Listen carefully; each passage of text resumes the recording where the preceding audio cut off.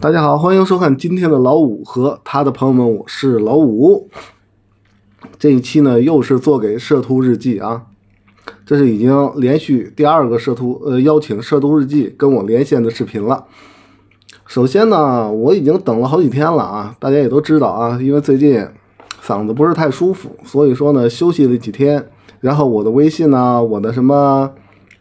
电报群呐、然后都挂在那里，我也没有见着摄图日摄图日记来找我，然后所以说呢，我第二次邀请一下摄图日记，别成天哎呀这个小粉红那个小五毛，我给你一个直接的证明，来来证明我来哈小粉红小五毛有多不堪，来来来，所以说呢，我邀请你摄图日记来这儿跟我来连个线，就如此的简单，别成天找一些啊那些啊。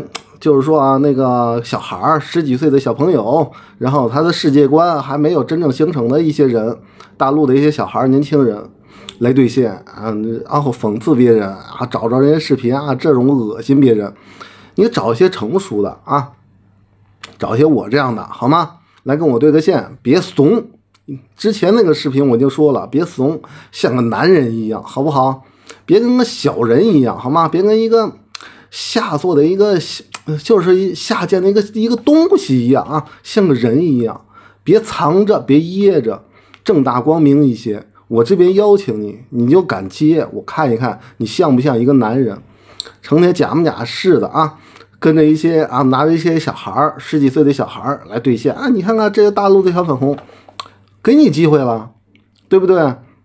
虽然说我粉丝不多啊，也就是不到两千，也就是这样。所以说呢，那。没有关系啊，没有关系啊，不到两千，对比对比摄图日记很少，但是我比那些小粉红还是有多一点点粉丝，证明我更不行，更不堪啊！把大陆比下去，别成天欺负弱小，对不对？成天别欺负小孩儿，这样的话啊，能让别人看得起你。成天欺负小孩儿，你算什么东西，对不对？然后台湾人都是这种玩意儿吗？台湾人都是这样的东西吗？嗯，成天欺负一些小孩，讽刺别人，哈哈哈哈，就这样，嗯，对不对？像个人一样，像个男人一样，别成天钻在自己的地洞里面啊，钻在自己井里面啊，天好大，对不对？像井口一般大，站出来看一看，别在自己的同温层里边混了啊！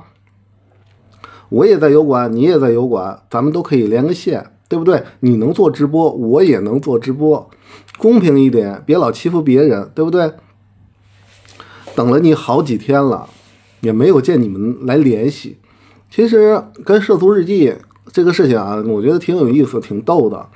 什么叫挺有意思、挺逗的呢？就这帮台湾的一四五零啊，这帮小杂毛。然后真的是让人挺看不起的。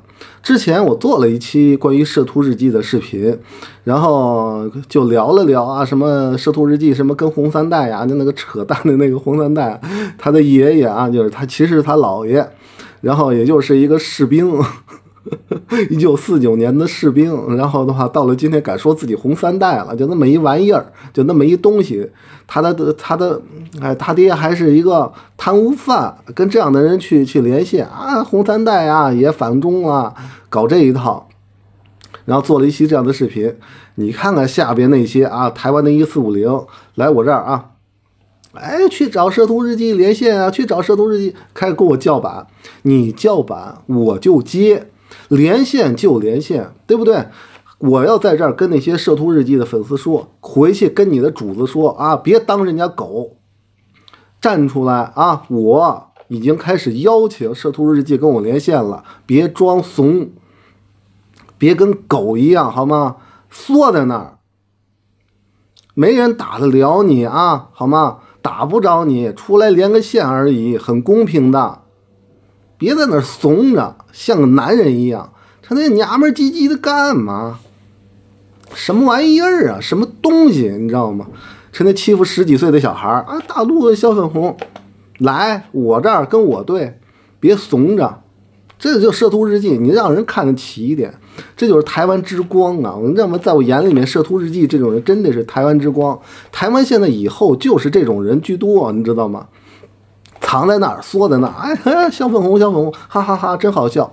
你真让他站出来比一比，你看他敢吗？你看他敢吗？他根本就不敢。一帮就这种玩意儿，摄图日记，我跟你说，你一天不接，我就我就接着一天去说你，什么东西，你知道吗？我我在油管上做视频，其实有一个很大的动力，都是这些台湾人。当然了，以前跟大家也聊过，香港那边反送中的时候，反修例的时候，也让人很气。但是的话，台湾那边的就恶心了我 几十年。以前跟大家介绍过。在在网上跟台湾人抬杠，那已经二十多年前的事情了，一直到今天。那行，咱们也换另外一种方式，时代在进步。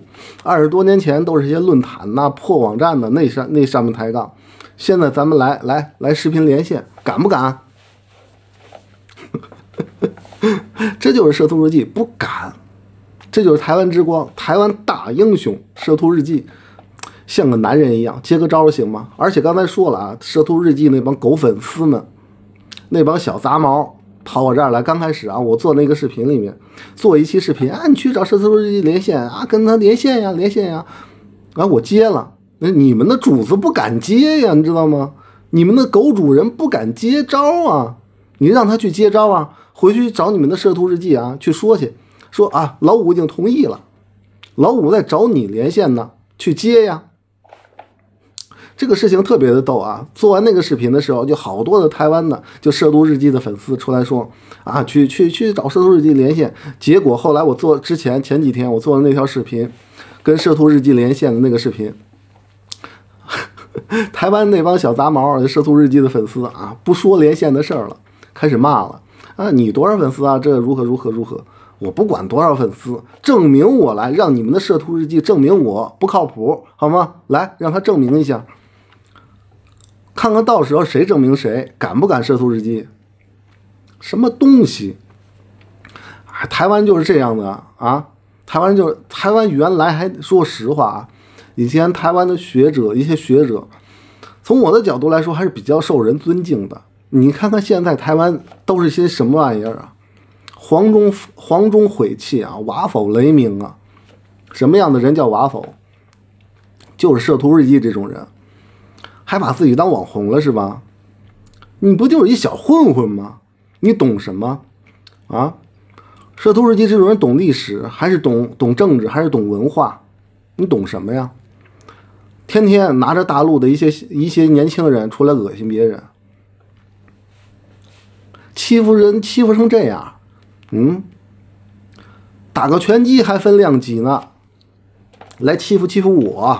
对不对？那么多粉丝的人还不能欺负我吗？对不对？不都是流行谁粉丝多谁正确吗？对不对？谁关注数多谁正确？我让我让你来证明你关注数比我多，来你正确，来压过我，连个线试试，敢不敢？这就是现在的台湾。为什么我之前说啊？我希望台湾以后都是摄图日记这种人就好了。为什么呢？这个世界啊。这个世界还是讲道理、讲实力、讲公理的，谁好谁坏，他不是靠这张嘴就完事儿了。谁好谁坏还是要看实力的。一个国家上来看看军事实力、科技实力、文化实力、经济实力，你从一个人身上也是一样。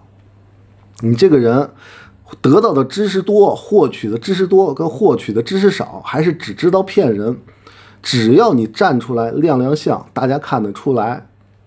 现在就是给你摄图日记一个机会啊，让大家看看你是一个只靠嘴过活的人，还是你真的有知识、有文化、有素质这样的一个人，让大家来见识见识，对不对？就如此的简单。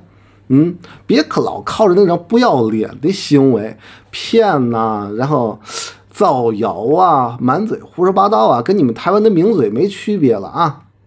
拿着这些东西出来说，有任何意义吗？北京没有下水道，对不对？大陆都靠田鼠，然后啊，北上广一片漆黑，我这灯是什么呀？什么东西啊？你们这种造谣的玩意儿，怕打脸了是吗？怕一连线就出来被打脸，对不对？别怕呀，敢说就别怕别人打，对不对？说话得负责任。你不负责任，就会被别人追着骂你是个什么？还不想骂难听的啊，是个脑残。什么东西啊？台湾大英雄，台湾之光，摄图日记，千万别给台湾人丢脸啊！台湾人多棒啊，对不对？台湾钱淹脚木，对不对？然后台湾人靠着什么一个一个一个公文包，满世界去赚钱。台湾人又努力又勤奋又棒棒，台湾人好棒棒，对不对？那你就出来证明一下啊！大陆的人都不棒棒，来来来，给你证明，来跟我对个线，连个线嘛，就如此的简单，对不对？就如此的简单，天天假模假式的啊，自己在自己的同温层里面，这儿不行了，那儿不好了，啊，大陆小粉红很好笑了，对，来，我给你个机会，证明一下大陆的 YouTuber 然后有多好笑，敢不敢？对不对？敢不敢？以前做视频跟大家说了，台湾人难道不知道《摄图日记》那些人都是撒谎的吗？其实都知道，为什么还要支持？那就是一帮自卑的东西。你知道吗？他不靠骗，不靠这种啊，这种小丑出来逗大家乐。你说那帮自卑的人，他的心态如何去解决呀？他只能靠这个，他靠不了任何别的东西了。这就一帮很可笑的东西。所以说，既然你敢出来恶心我，既然你敢出来恶心大陆，那就行。那咱们对个线嘛，我就直接证明你就是个骗子。